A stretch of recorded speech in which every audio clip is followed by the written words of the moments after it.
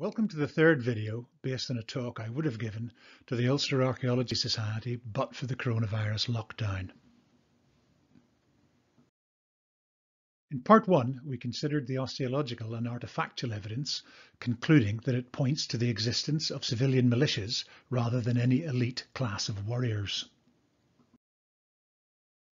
In part two, we concluded that damage to Irish Bronze Age blades had mainly contemporary ritual causes, with use use-wear analysis also showing substantial modern reuse. In part three, we'll continue to look at how material culture might be used to interpret late prehistoric societies, now focusing on the decorative motifs that appear on both ceramic and metalwork. We'll ask if these patterns were simply decorative or held some deeper significance for the societies that produced them. The ornamentation on Bronze Age metalwork is clearly derived mainly from that on beaker pottery, best seen on vessels such as cinerary urns. Although there have been few attempts to attribute any possible meaning to these motifs. The preferential placement of cinerary urns in older burial sites has long been recognised. Here they were generally inverted over the ashes of individual males, females and occasionally children. It's been suggested that they might have served a similar purpose to that of Etruscan hut urns, although the practice first appeared in Britain and Ireland at a much earlier date. It's been argued that once the concept of cinerary urns reached Ireland, their subsequent development was largely insular, with limited external influences. More recently, attention has returned to the question of the direction of travel of those influences. Did they originate in Northern or Southern Europe, or both? The concentration of collared urns, for example, has become increasingly more evenly spread as newer discoveries are made. But cordon urns are clearly a northern phenomenon. Two conflicting theories about the nature of any external influences have been called cultural diffusion, where the spread of ideas and goods is the main driver of change, and demic expansion, where change is due to the migration of people which in Ireland's case would have could have originated in northern or southern continental Europe. The earlier northern corded ware culture was marked by single inhumations which included pots and stone battle axes. While in the south, campaniform pots and copper daggers would become common grave goods. In both traditions, bands and triangles were popular decorative motifs with strong funerary associations. These motifs also appear on artifacts such as these stone plaques used to support a demic expansion hypothesis. Physical characteristics have also been used to determine racial origins. An approach that went out of favour after the mid-20th century. Bioarchaeology can now explore the Neolithic Bronze Age transition using a broader range of evidence than simple craniofacial metrics. Ancient DNA analysis has confirmed that Neolithic farmers did follow the Western route suggested by Crawford for the eye goddess, challenging our preconception of their probable appearance. ADNA has also shown that Ireland's Bronze Age population originated in the Pontic steppe. Media coverage of these revelations is seldom anything short of sensationalist and based on little or no material evidence. Vividly describing how these mounted barbarians swept through somehow merging with the beaker culture and slaughtering all in their path in some drunken frenzy. So, what do we really know about the Beaker people? One important individual is the Amesbury archer. His impressive array of grave goods suggests that, in addition to being a bowman, he was also an accomplished metalworker. Bioarchaeology has shown that he did not grow up in Britain or Ireland, but reflects larger migration across Europe and South Asia, which looked very similar to the movement of Maria Gimbutas's Kurgan people. Gimbutas held that the original inhabitants of Europe formed peaceful matriarchal societies with earthbound goddesses and a belief in earthly regeneration.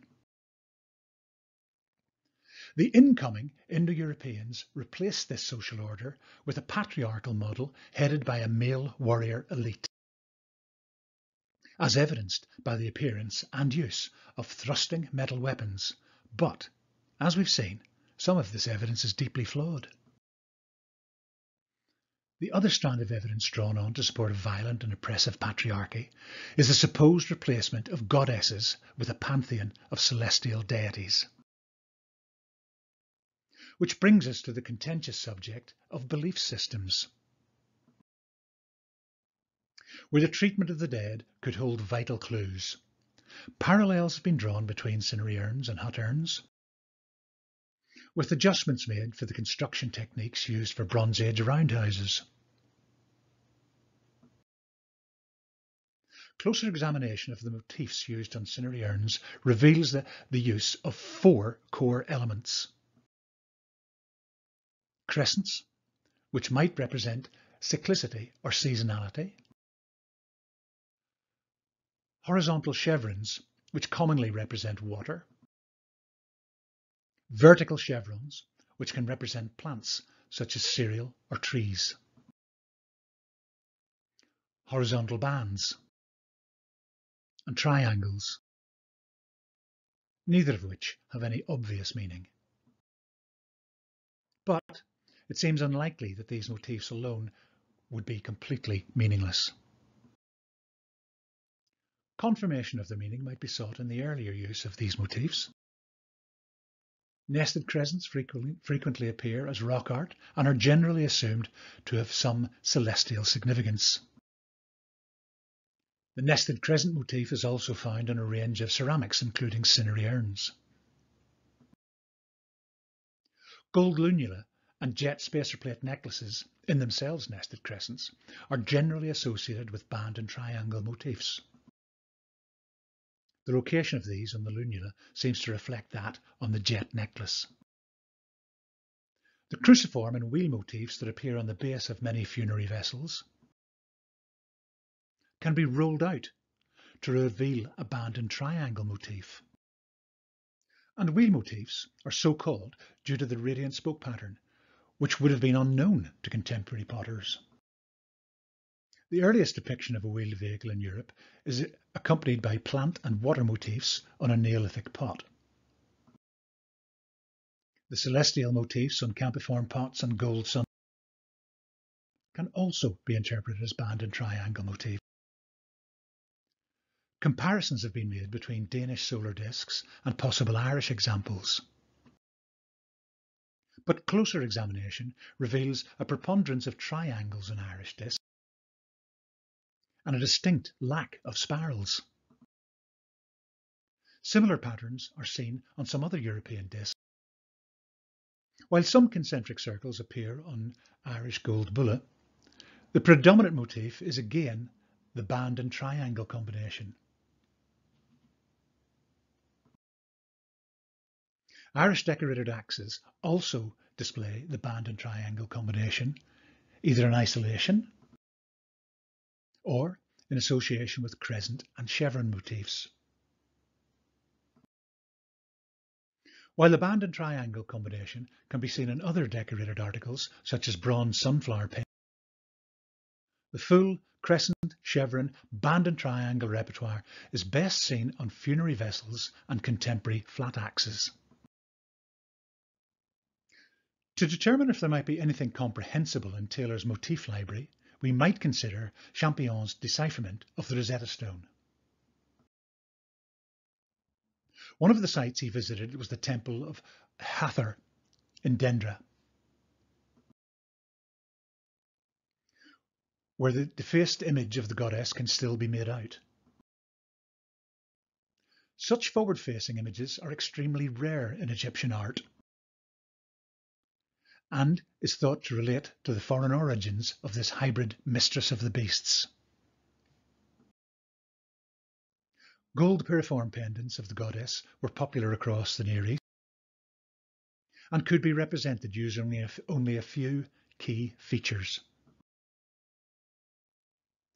These are also incised on stone plaques and animal long bones appearing as far west as southern Iberia by the late Neolithic. The motifs used on bone eye idols also appears on pottery.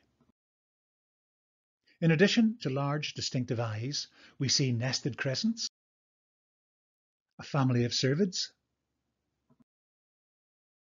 and the now familiar band and triangle motif. This and several other recurring features were common across time and space.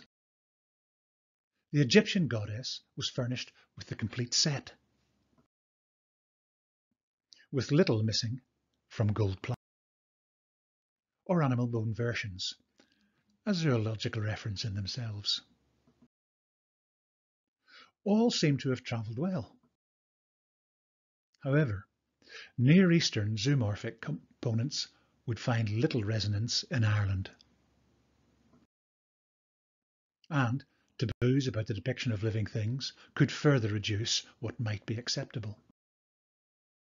The use of punches and stamps to reproduce the four core components would have resulted in a further reduction in complexity. As its principal use may have been to clear land for farming, the axe could have been regarded as an implement of fertility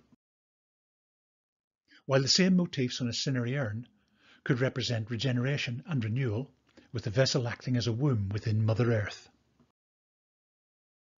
Such regeneration would come to be symbolised by the Ouroboros, the Jungian Great Round, also depicted as the symbol of infinity.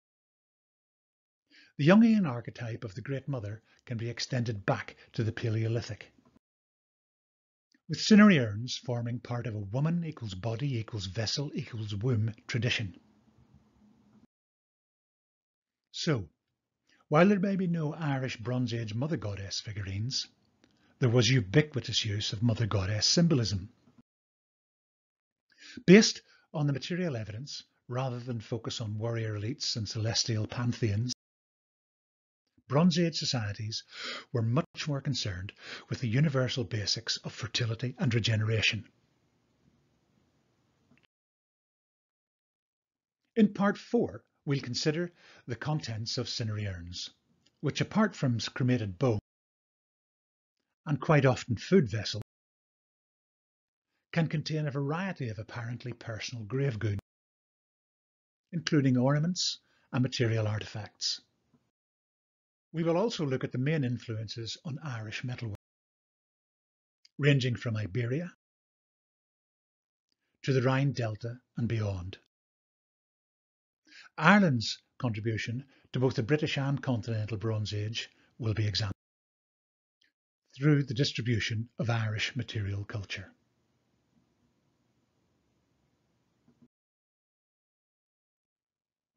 Thank you.